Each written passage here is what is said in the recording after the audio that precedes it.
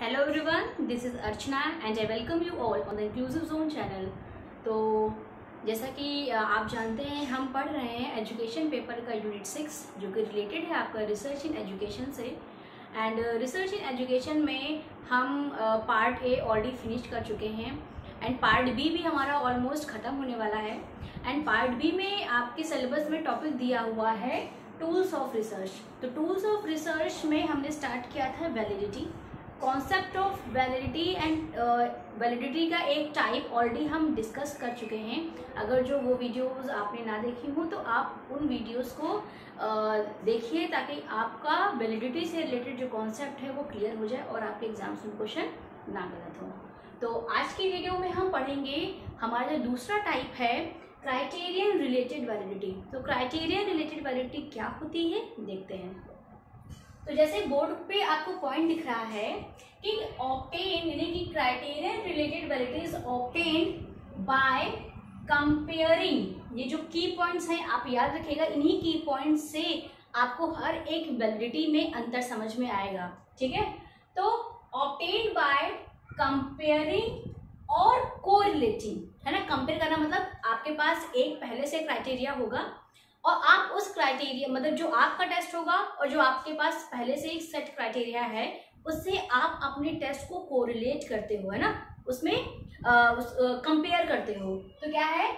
Obtain by comparing और correlating the test scores यानी कि जो भी आपने टेस्ट बनाया है उस टेस्ट को आपने रिस्पोंडेंट पे अप्लाई किया और आपके पास स्कोर निकल के आया। तो ये क्या हुआ आपका?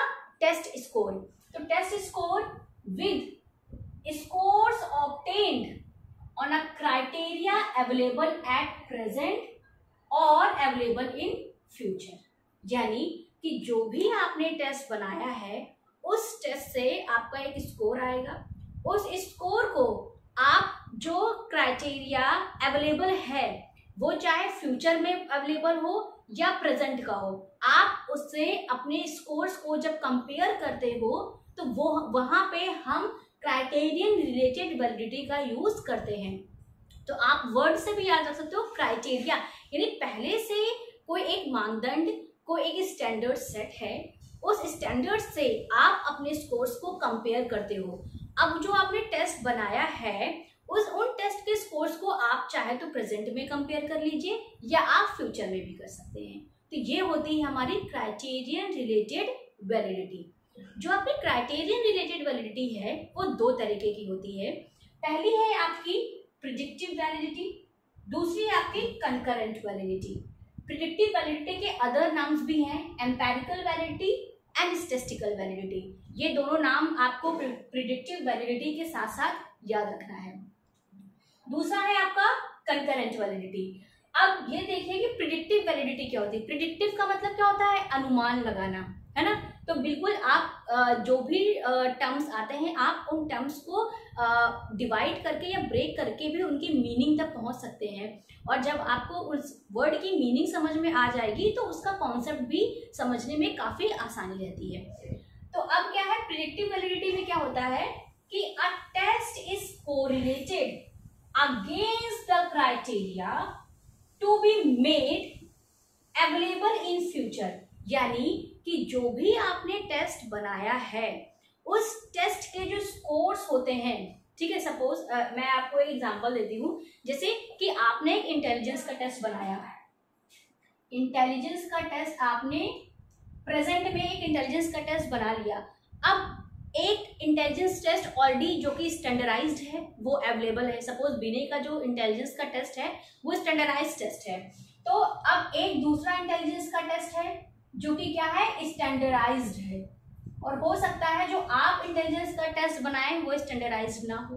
ठीक है? तब जो जो इंटेलिजेंस के टेस्ट जो इंटेलिजेंस का टेस्ट आपने बनाया है, उसके स्कोर्स और जो इंटेलिजेंस टेस्ट स्टैंडर्डाइज्ड है, उसके स्कोर्स में आप क्या करते हो? मतलब ये क्या हो गया? आपका एक क्राइटेरिया है।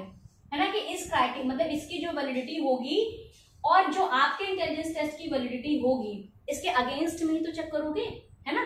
तो ये, यही बात कही जा रही है कि a test is correlated against the criteria to be made available in future यानी कि जो भी क्राइटेरिया फ्यूचर में अवेलेबल होगा, उस क्राइटेरिया को देखते हुए आप अपने टेस्ट को उस टेस्ट के साथ कोरिलेट करते हैं कंपेयर करते हैं कि आपके टेस्ट की जो वैलिडिटी है और जो फ्यूचर में जो टेस्ट होगा, उसकी वैलिडिटी क्या है?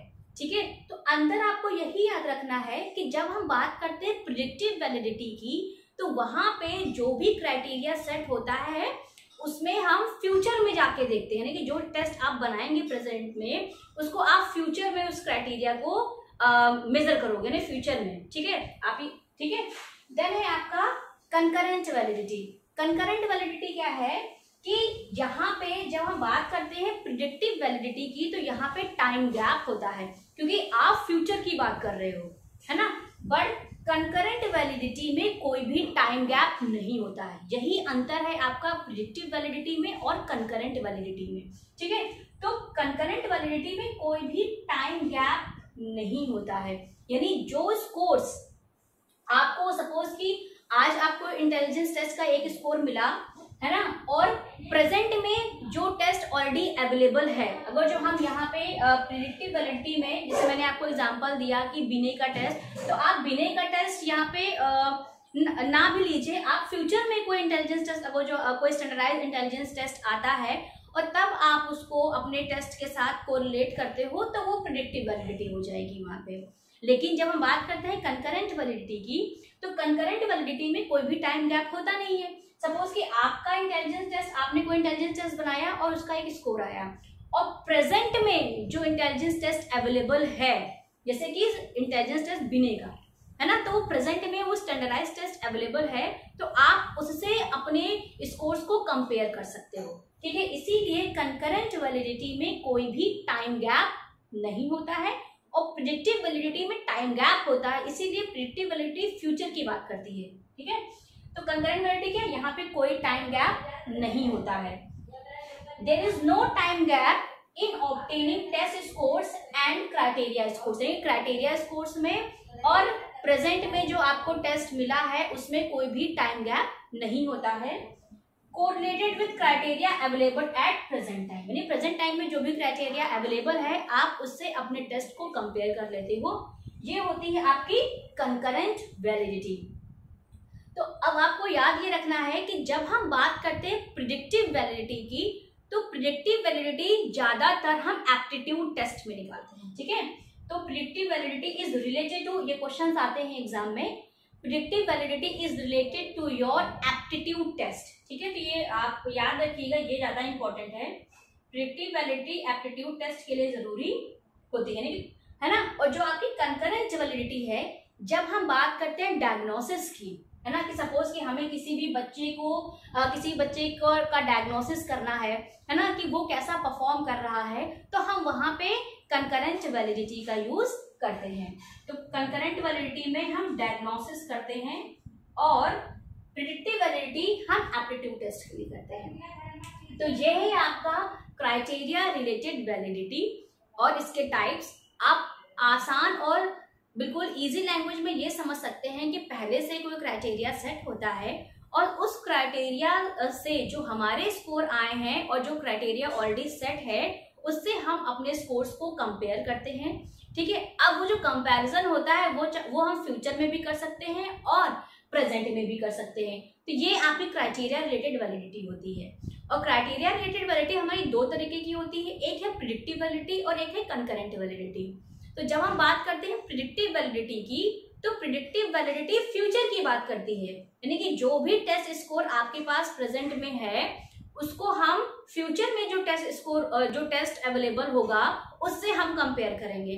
तो वो हमारी होती है प्रिडिक्टिव वैलिडिटी और जो हमारी कंकरेंट वैलिडिटी है कंकरेंट वैलिडिटी बात करती है प्रेजेंट की।